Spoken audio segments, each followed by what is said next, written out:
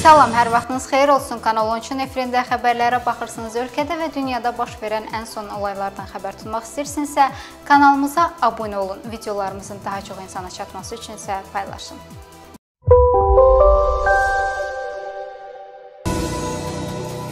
Nəhayət ki, bu gün operativ qərargahın brifinqi baş tutdu. Səbirsizliklə gözlənilən brifinqdə hər kəsi maraqlandıran əsas məsələlərdən biri də bayram günlərində məhdudiyyətlərin tətbiq olunub olunmayacağı ilə bağlı idi. Səhiyyə nazirinin birinci müavini hazırda Səhiyyə nazirinin vəzifələrini müvəqqəti icra edən Teymur Musayev bildirib ki, bayram günlərində heç bir məhdudiyyət tətbiq olmayacaq. Məhdudiyyət ancaq ictimai nəqliyyata tətbiq olunacaq. Bundan başqa o əlavə edib ki, mayın 10-da yanvardan etibarən respublika ərazisində 18 yaşına çatmış bütün vətəndaşlar vaksinasiya prosesinə qoşula biləcəklər.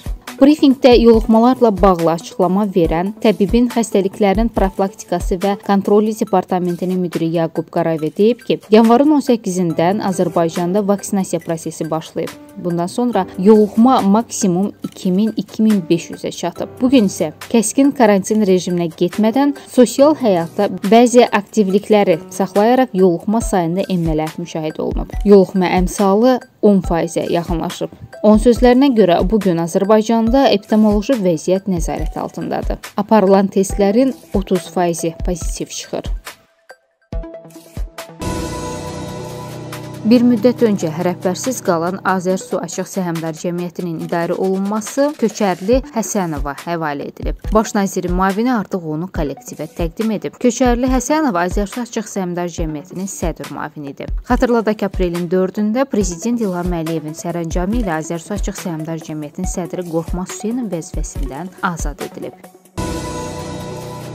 Bu gün prezident İlham Əliyev Orxan Faiqoğlu Nəzərlinin Azərbaycan Respublikasının İqtisadiyyat Nazirliyi yanında Dövlət Vergi Xidmətinin rəisi müavini vəzifəsindən azad etməsi haqqında sərəncam imzalayıb. Prezidentin bir digər sərəncamı ilə Orxan Nəzərli Azərbaycan Respublikasının İqtisadiyyat Nazirliyi yanında Dövlət Vergi Xidmətinin rəisi təyin edilib.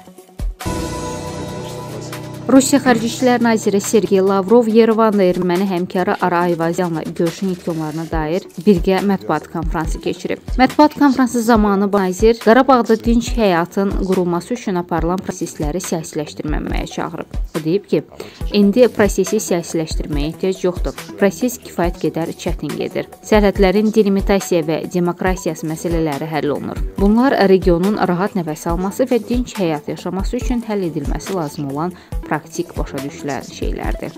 Sergey Lavrov əlavə edib ki, sözü gedən məsələləri sonraya saxlayıb, əvvəlcə siyasi diskussiyalarla məşğul olmağa cəhd edənlər bütün prosesləri alt-üst edirlər.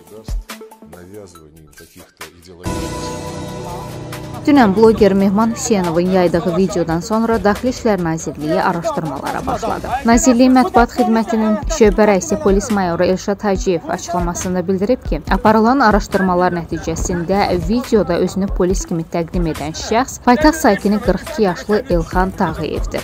Elşad Hacıyevin sözlərinə görə Elşad Tağıyev Nərmanov rayon polis idarəsinə dəvət olunub və onunla profilaktiki söhbət aparılıb. Daha sonra isə sərbəst buraxılıb. Hacıyev bildirib ki, videoda özünü polis kimi təqdim edən şəxs polis əməkdaşı deyil. Əvvəllər də polis orqanlarında xidmət etməyib. Elxan Tağıyev mübahisə zamanı işlətdiyi kobud ifadələrə görə peşman olduğunu və üzrxahlıq etdiyini bildirib. Əlini sal aşağı. Əlini sal aşağı gedir sizlə aşağı. Deyir ki, bu adam kasım adam. Ay gel aşağı. Bu da polis əməkdaş kimi təqdim eləmir özünü. Polis əməkdaş kimi Mən deyirəm sən, sən kimin boğazından çıxadın. Başa düşdün hə? Sən deyirəm geçirəm, indi sən bir dəqiqə kəndini düşdürüb çıxacaqsan. Sən yara düşürsən, sürmət. Türkiyə Ermənistanla sərhəddə antiterror əməliyyatlarına başlayır. Türkiyə Daxili İşlər Nazirliyinin verdiyi məlumata görə antiterror əməliyyatı EREN 14 adlanır. Nazirlikdən bildirilib ki, antiterror əməliyyatında 2065 şəxsi heyət iştirak edir. Əməliyyatın hədəfi terrorçu PKK qruplaşmasını Türkiyə gündəliyindən tamamilə çıxarmaq, həmçinin bölgədə terrorçuları və sığınacaq yerlərini zərərsizləşdirməkdir. Antiterror əməliyyatı Ərzurum jandarm bölgə komandanlığının baş başçılığı ilə Ağrı, İğdır, Qars və Ərdahan bölgələrində keçirilir. Gəncədə tükürpədici olay baş verib. Belə ki, Gəncə şəhərində yerləşən Heydər Əliyev park kompleksində asılmış vəziyyətdə kişi meyidi tapılıb. Hüquq mühafizə orqanlarının verdiyi məlumata görə həmin şəxs Gəncə şəhərində təcili tibbi yardım stansiyasında sürücü işləyən Asəf Əliyevdir. Ermənistan parlamenti fərarilərin əfi ilə bağlı qanun qəbul edib. Əf yaşı 27-dən az olan ehtiyatda olan sıravilər və hərbi çağırışdan yayınan və yaşı 35-dən az olan zabitlərə aiddir. Lakin keçən il döyüş əməliyyatları dövründə çağırış və ya təlimlərdən yayınanlar bu əffə düşməyəcək.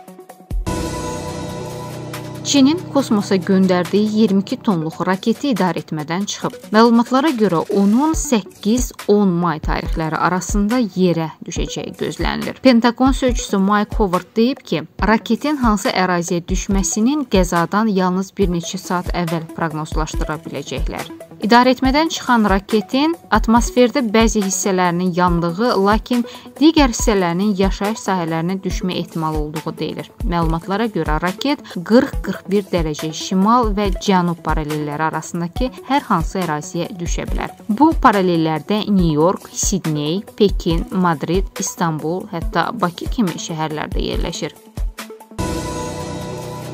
Və sonda sabah olan hava haqqında məlumatı diqqətinizə çatdırırıq. Milli Hidrometeorologiya Xidmətindən verilən məlumata görə mayın 7-sində Bakıda və Abşeron yarımadasında hava dəyişkən buludlu olacaq, arabir tutulacaq. Günün ikinci yarısında bəzi yerlərdə yağış yağacaq. Mülayim cənub küləyi əsəcək. Havanın temperaturu Abşeron yarımadasında gecə 11-13, gündüz 18-21 dərəcə, Bakıda gecə 11-13, gündüz 18-20 dərəcə isti olacaq. Atmosfer təzyiqi 763 mm civə sütunun nisbi rütubət gecə 70-80, gündüz 50-55% təşkil edəcək. Rayonlarda da hava şəraiti əsasən yağmursuz keçəcək, lakin axşama doğru bəzi yerlərdə şimşək çaxacaq, arabir yağış yağacaq. Dolu düşəcəyi gözlənilir. Havanın temperaturu gecə 10-14, gündüz 20-25, dağlarda gecə 3-8, gündüz 10-15 dərəcə isti olacaq. Sabah meteohəssas insanlar üçün də əlverişli hava şəraiti olacaq. Belə ki, iqlim normasına yaxın temperatur rejimi və meteoroloji amillərin mülayim tərəddüdü gözlənilir. Bax belə, bu günlük və bu saatlıq bizdən bu qədər. Görüşmək ümidi ilə hələlik.